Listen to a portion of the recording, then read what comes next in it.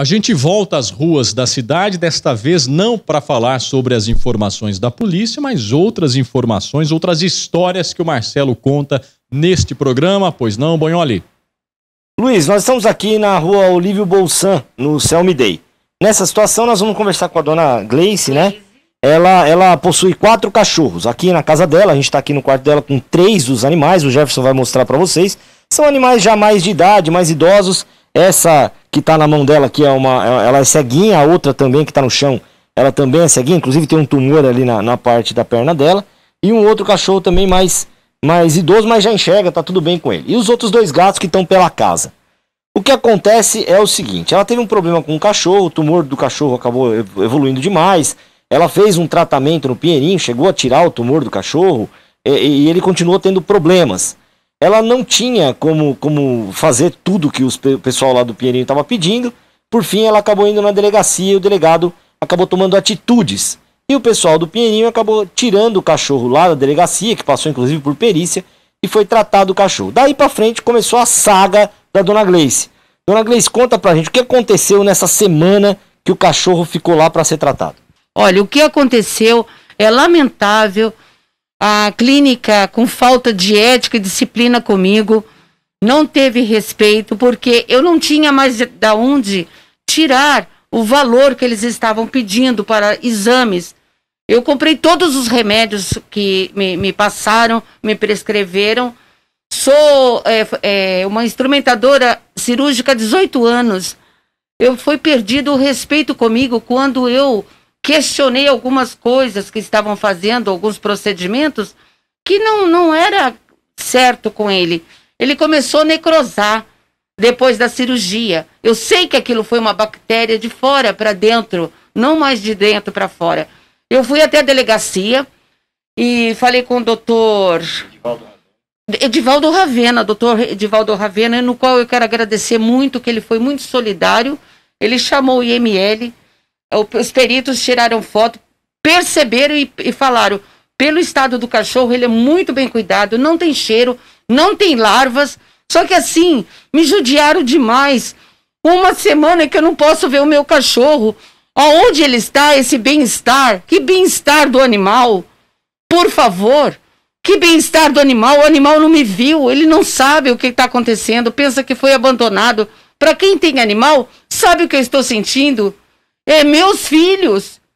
É meus filhos. Falando que eu tenho, faço maus tratos do cachorro. Eu fiz tudo o que eu pude. O Pinheirinho não Ô, quer Marcelo, saber se você tem dinheiro Marcelo, ou não. O cachorro pode morrer. Marcelo, só, só um minuto. Pois não, Madalena. Me diga uma coisa: essa clínica bem-estar é uma clínica privada ou uma clínica não, pública? Não, bem-estar animal é a coordenadoria, Madá. Ela foi ah. pedir ajuda e aí tem um, um, convênio do município, não é isso, Chico? O município encaminha para essa clínica. Né, que, que, é uma clínica particular. Que é uma clínica particular. Que presta e a clínica serviço. particular que é, é contratada pela bem-estar, que é pública, é, certamente não está prestando o serviço correto. É, é ela, ela alega, Madalena, porque quem é responsável pela coordenadoria de bem-estar animal é a Carol Matos, que aí é, é uma coordenadoria, como o Luiz explicou, pública. Agora, o que ela alega é que ela não está tendo acesso ao cachorro, ela não tem informação de onde está o cachorro, como que está a saúde do animal, e é isso que ela absurdo, quer saber. Absurdo. Nesse tipo de informação estão claro. sendo dadas a ela. O cachorro foi levado e desde então ela não consegue. Aquela coisa gozada. Rapaz, eu tenho até vontade de ficar dando risada. Já tem uma dizer? semana. É, mesma coisa do que você deixar o seu filho no hospital e o pessoal sumir com o seu filho. Peraí, não. O mínimo tem que ter uma nota explicativa. Olha, o animal está isolado em função disso ou daquilo, está indo bem. Agora, dá até fazer uma livezinha dele, ó, tá aqui, ó. Boletim tá... médico, né, Mandar? Boletim, boletim médico, veterinário claro, nota nesse médica, caso. Né? Todo dia a responsável, a tutora, tem que ser informada, né? Tem que ser não informada. Não há dúvida, não há dúvida. Quer dizer, é, por favor, a Carol, como é que é o nome da moça que cuida da clínica? Carol Matos Galvão. Carol não, não é que Galvão. cuida da clínica, é do bem-estar animal. Do bem-estar, mas Isso. ela é responsável na quer dizer, a, o Pelos órgão dela é responsável pela contratação da clínica que não está dando o suporte Isso. que deveria dar. E fez o encaminhamento do animal para esse tratamento. Pois não, Bonhori? Só para complementar, ela disse que ela teve problemas aqui, né, é, dona Gleice, com uma moça chamada Érica, que disse que destratou muito ela, foi muito mal educada. Inclusive disse para ela que se ela causasse, né, a senhora, a senhora teria que pagar, faria um boletim contra a senhora. Se eu causasse, ela ia abrir um boletim de ocorrência e ia ter que pagar Bom. todos os, os, os medicamentos, os custos de que ele está sendo tratado. Eu Bom, não sei olha. se está saindo do bolso dela ou da prefeitura. É, Só um minuto. É só pra constar também, é, ela recebeu agora pela manhã, né, dona Érica? Sim, dona Gleice. Gleice. Uma, uma ligação, depois que ela informou que viria aqui no programa, que estaria aqui com a gente, ela recebeu uma ligação do pessoal do bem-estar animal. O que, que eles disseram pra senhora? O David disse para mim que eu poderia, porque ela ficou de me ligar ontem para marcar um horário para falar com a veterinária. Só que não me ligou ontem, foi mais um dia, uma noite inteira acordada, mais uma noite sem jantar, chorando, que eu estou com um estado emocional abalado por isso.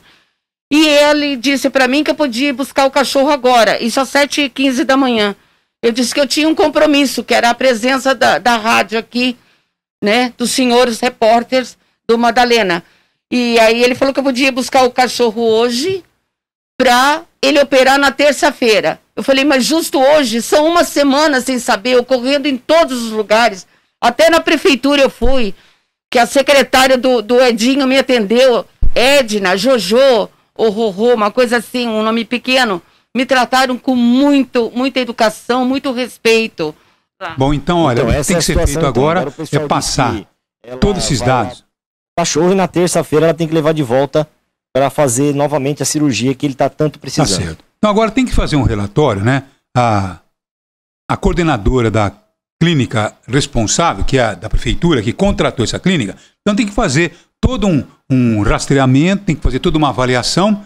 eh, então, apurar tudo isso, ver outras, outro, por exemplo, você que já teve o seu cãozinho encaminhado a essa clínica, está atendendo pela prefeitura, porque a prefeitura está pagando. A prefeitura não está pedindo favor a ninguém, está pagando. Então eu quero saber qual é o tratamento que o seu animalzinho teve. Se tem alguma reclamação, ou tem apenas a reclamação que a senhora, se não foi bem atendida, e tem razão, não foi bem atendida, tem que eh, reclamar mesmo, né? Agora, você que já passou por essa clínica contratada pela prefeitura, teve um bom tratamento? O telefone está aí. Qual é o nosso telefone? Chico, passa o telefone da nossa, da nossa live, por favor. O telefone é 3311 3000, Madalena. Agora, se você prefere mandar o WhatsApp, é o 99751 3001. Tá bom, então a clínica, quer dizer, ah, o bem-estar animal contratou uma clínica para dar assistência a você quando precisar. Então, essa clínica recebe as pessoas que têm esse tipo de problema e não tem condições de pagar ah, uma clínica particular. Então, como que é o tratamento? Como é que você recebeu o tratamento? Tem alguma reclamação a mais? Porque a gente faz um relatório e manda para o pessoal do bem-estar animal, a diretora vai ter que pesquisar, mas analisar. a, a crítica que a, a Gleice está fazendo não é a clínica, é a- o atendimento dado pela Coordenadoria de Bem-Estar Animal, que não passa as informações para Mas ela. a clínica também pode passar informação. Sim, mas É. ela nem sabe que clínica que é nem onde está. Esse que é o problema. Ela não sabe. Ela não sabe. Não Ah. disseram para ela, o seu animal está em tal clínica. Não. Ela vai à coordenadoria, não informam para ela onde está o cachorro, qual que é a clínica, Então ela qual não está de sabe saúde. onde o Não animal sabe. está. Aí já é uma outra coisa, agora que eu estou entendendo. Então, quer Piorou, dizer, não acho que está- piorou a situação. piorou, né? É, então, dessa quer dizer, forma. o mínimo que a gente espera é uma declaração da diretora da, do bem-estar animal. Estamos esperando esse contato. Por favor, Lucas, com ela, viu? A Carol Matos é coordenadora do bem-estar animal da Prefeitura de Araraquara. Carol, acho que você já está a par da situação, né? A reclamação eh, da moradora que alega que teve um animal, depois de pedir ajuda, levado né, pela coordenadoria para o tratamento e desde então ela não consegue saber sequer onde o animal está, muito menos ter acesso às informações. O que há nessa história? Como é que você acompanha o caso, Carol? É, o que aconteceu foi o seguinte: no dia 3 de março, é, por volta das 5 e meia da tarde, a Polícia Civil, através do doutor Edivaldo, acionou o plantão do bem-estar animal, porque havia é, um, um- cachorro muito ferido na delegacia, junto com sua tutora, e eles é, apreenderam esse animal para verificar o que estava acontecendo, apurar eventual maus tratos e pediram o apoio da coordenadoria. É, nesse sentido, como foi verificado, o animal apresenta um, um tumor bastante ulcerado. Esse animal ele foi recolhido né, pelo município para poder dar o tratamento devido, apurar se existiria maus tratos ou não, e desde então a gente tem mantido contato com a Polícia Civil. É, em duas oportunidades, a munícipe veio até o bem-estar animal, foi orientada por três fiscais, então ela tem ciência sim do que está acontecendo. Inclusive, hoje a gente tinha ligado para ela para comparecer aqui, para a gente passar as demais orientações. Ela disse que não poderia vir, ficou marcado para ela vir amanhã. Né? Então, assim, quero esclarecer que a coordenadoria não existe um atendimento público à população, a responsabilidade pela saúde do animal é de quem? É do tutor, né? Não existe no Brasil, né, um serviço que é, acolha aí, é, dê esse suporte para todos os animais, infelizmente, quem sabe um dia, mas nesse caso em específico, tendo visto a apreensão ter sido feita pela Polícia Civil, a gente recolheu o animal visando o bem-estar do animal, tanto que todas as despesas que o, que o município está tendo com esse animal serão devidamente cobradas. Então, o que acontece é o seguinte: esse animal ele passou por uma estabilização nessa semana, ele precisou ser sedado para fazer uma biópsia, a biópsia demora até 30 dias para sair o resultado, e nesse período ele precisa ter os cuidados devidos. Então, por isso que a gente agendou o horário com a munícipe aqui hoje, mas ela disse que não poderia. Mas ela disse que... que procurou em outras oportunidades e, por exemplo, isso que você está passando agora, sequer foi passado para ela. É esse o procedimento, Carol, em caso de suspeita de maltrato? Se nega Sim, o acesso é, da tutora? Não, é, não, é isso? Na verdade, na verdade é o seguinte: o bem-estar animal ele faz o recolhimento de animais em situação de maus tratos e nas condições lá do, daquele, do protocolo de recolhimento. Animais errantes que estejam atropelados, agônicos, fêmea-cio, prem, idoso ou filhote, certo?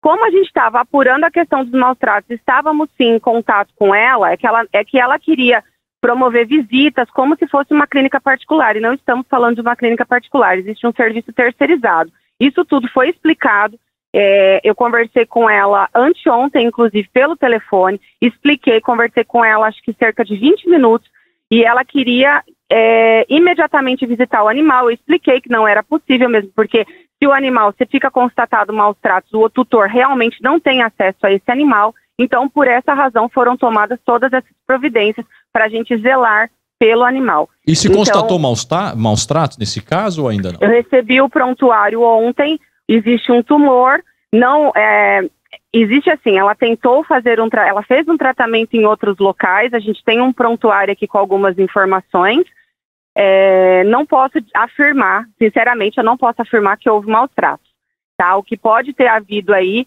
é algum, alguma, não seguiu algumas orientações passadas por veterinários anteriores. Um tratamento tardio, que pode tipo. ter agravado a situação. Porém, é, a gente se falando de câncer, a gente, por isso que é preciso saber o resultado dessa biópsia para a gente saber a extensão desse problema, porque existem situações que mesmo com todo o tratamento possível, o tumor é extremamente agressivo e existem situações que se o tratamento, se as prescrições forem seguidas da forma correta, é possível que o quadro não estivesse nesse ponto. Mas para isso a gente alega, precisa do resultado da biópsia. Ela alega que teve que é, interromper o tratamento do animal e procurar ajuda do município por falta de recursos financeiros. Ela disse que está trabalhando como motorista de aplicativo, não tem recursos, e a gente sabe que tratar o câncer de um animal, isso é caro, realmente não é barato. E por mais que você fale que no Brasil não tem atendimento público, tem sim. São Paulo tem hospitais veterinários, inclusive na capital tem hospital público veterinário. Agora a gente sabe que isso não é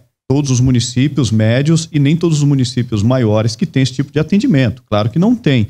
Mas numa situação como essa, quando a pessoa não tem recursos para cuidar do animal e a situação é grave, como que fica essa questão do município? Você falou que os custos serão cobrados depois da proprietária. E se ela não conseguir pagar, se ela não tiver dinheiro? É, aí funciona da seguinte forma: é essa dívida ela é inscrita na dívida ativa e aí é feito em forma de parcelamento. O que acontece é assim, né? São Paulo realmente, salvo engano, tem quatro hospitais médicos veterinários, mas são distribuídas quatro, 20 senhas por dia em cada hospital. Então imagina o tamanho de São Paulo por 80 senhas por dia.